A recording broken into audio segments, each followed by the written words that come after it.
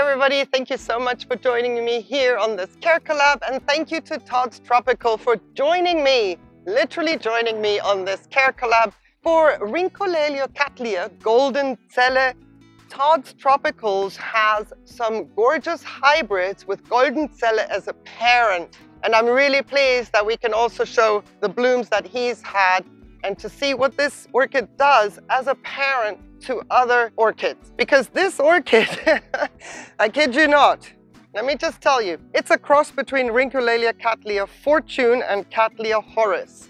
Cattleya Horace is pink. So now imagine you're buying a Goldenzelle with the image of these yellow blooms in your mind, right? Golden blooms, like yellowy, okay? And then yours blooms out pink, then you would think, oh no, I've got a mislabeled one. No, don't. Don't think that because Cattleya Horace is a beautiful, strong pink Cattleya and a Goldenzelle can bloom pink. And the only thing that is yellow about a pink Goldenzelle is the center of the lip here. The rest of the bloom is beautiful pink and completely contradictory to the name golden. It's a pink bloom.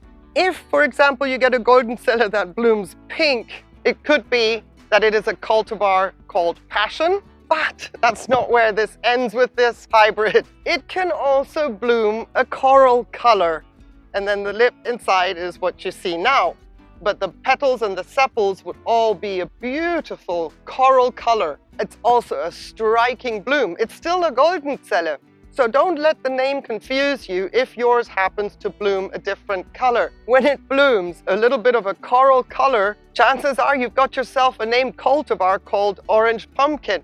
And my goodness, it is a beautiful, beautiful variation of golden Zelle. But be it pink, coral color, or as you see in my case, a very baby pastel yellow, it is still a Goldenzelle. So if you see this video and you're like, that's not what my bloom looks like, I hope that this was helpful. I always get very paranoid very quickly if a bloom of mine doesn't come out as to what I bought it and uh, what I saw in pictures. And I can imagine the horror of anyone getting a Goldenzelle, seeing a yellow bloom on the internet and saying, nope, that's not what I got. So hope this was helpful, but here's mine.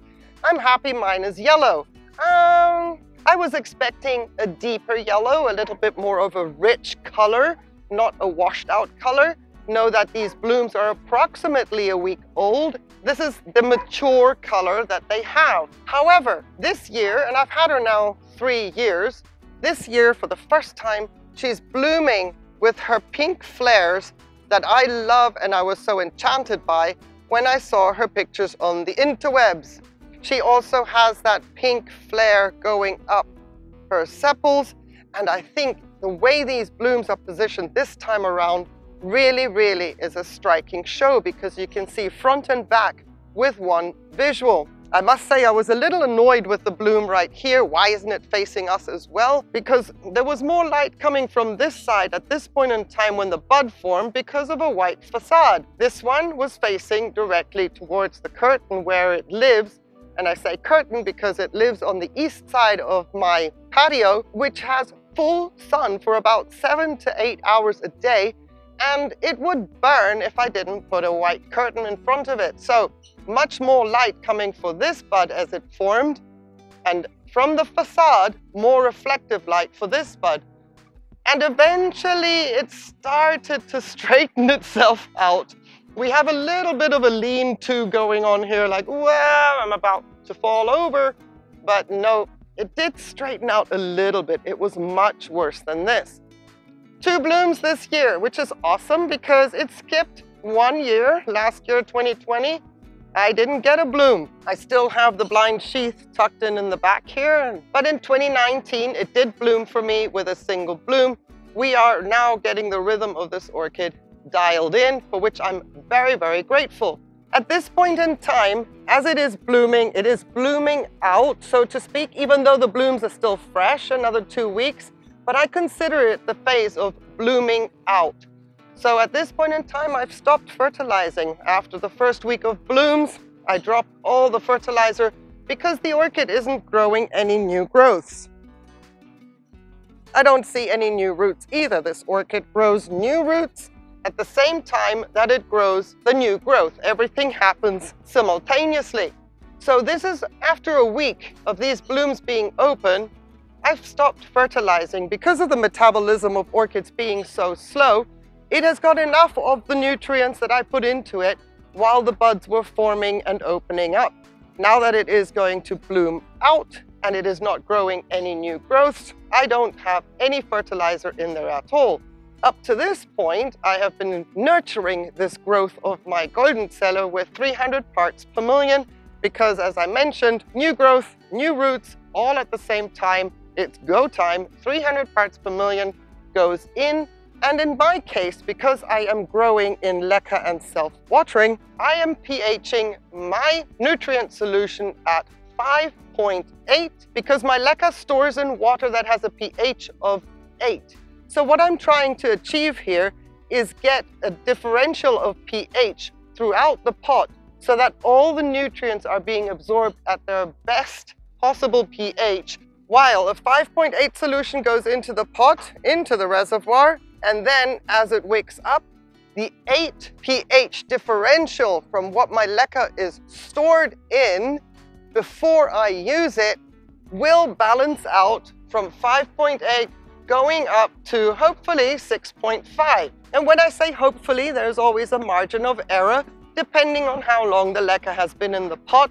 And if I ever see any kind of deficiencies happening, then I know that I need to raise my pH a little bit more, maybe to 6, maybe 6.1, because now my leca has been in the pot long enough that I can pretty much say that the 8 pH of the storage water has lost its effect. Because when I talk about watering, leca and self-watering means that the leca, in my case, never ever dries out.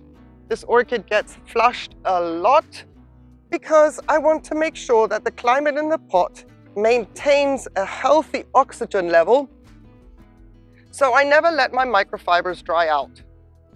And when I say oxygen level, that's because pouring water through the pot at regular intervals not only keeps the surface of the media free of salt accumulation, but it also pulls oxygen through, and we know that orchid roots love oxygen. Now you see my reservoir is very, very minimal. Sorry about the dirty pot, but there's hardly any water in here. And this water is so low at this point in time because I am heading into winter.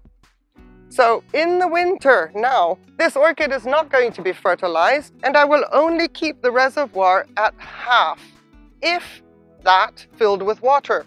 As the temperatures drop further down, where she lives indoors, I will get down to about 15 degrees Celsius. She will not be using as much water as she did clearly during the summer. But the flushing, I maintain that. I maintain my microfibers wet. I do not want them to dry out. I do not want to lose the wicking efficacy of my leca throughout the colder months of the year. So as temperatures are dropping, there is no fertilizer in my Goldenzelle, but I do flush just to maintain the leca in the pot damp and I will also forfeit having any water in the reservoir during the months of December and January because they are steady cold throughout. When I say cold, that would be 15 degrees Celsius indoors, maybe 17, 18 degrees outdoors. When that for this orchid is cold. I have to bear in mind that in the, my case, I'm dealing with leca, which is an evaporative cooling effect.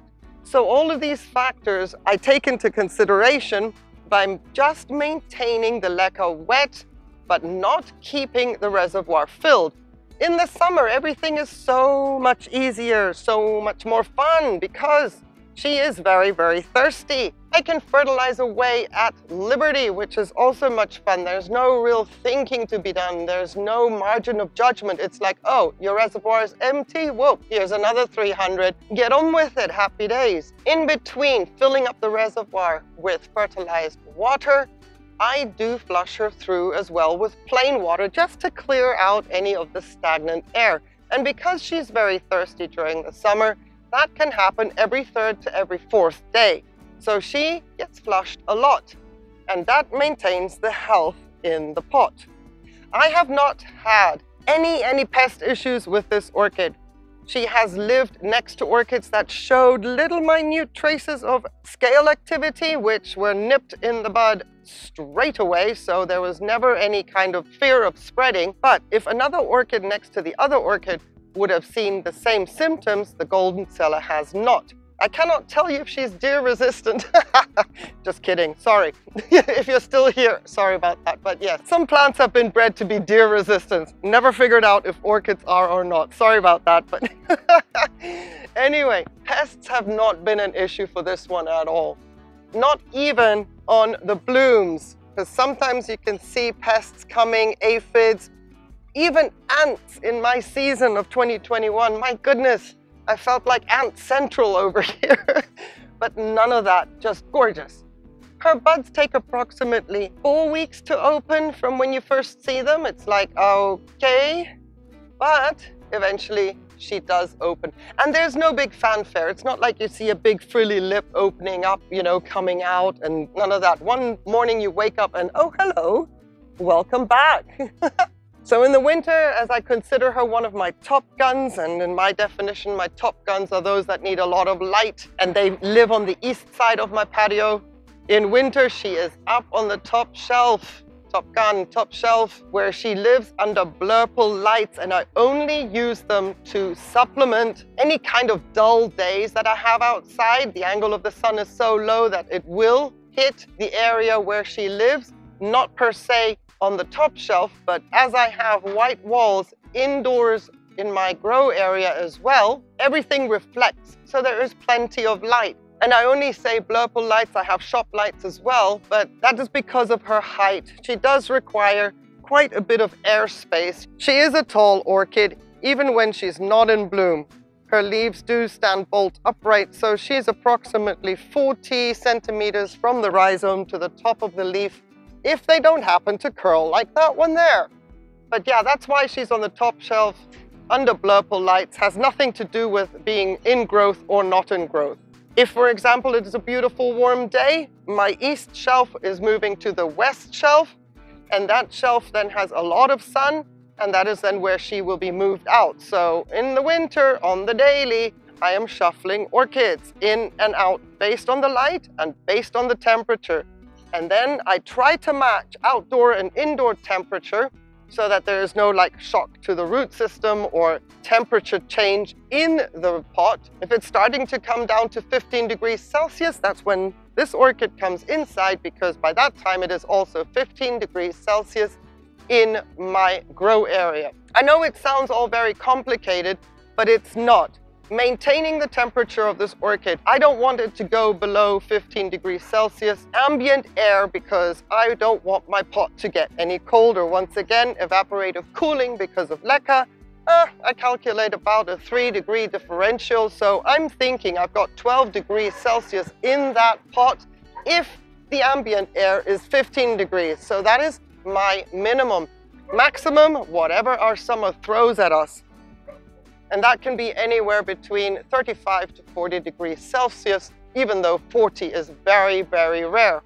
I have absolutely no humidity to speak of during the summer. In the winter, I have approximately 55 to 70% humidity. But honestly, she is not in growth. I don't have to worry about losing root tips. The humidity itself for this orchid really doesn't factor in. She is still going to perform and bloom. Her fragrance is like a very light lemon. There's a kick of citrus like the lemon rind. If you squeeze a lemon, the droplets that go up your nose that are super intense and possibly could make you sneeze, there's a hint of that in there, but it is so mild, it is not in your face. You have to get really, really close to be able to smell that fragrance. It is not unpleasant, but it, you know, it's not one of those fresh citrus fragrances where you think, oh yes. So very light, same as the bloom, light yellow, light citrus. Get in there close with the nose, touching nose to nose,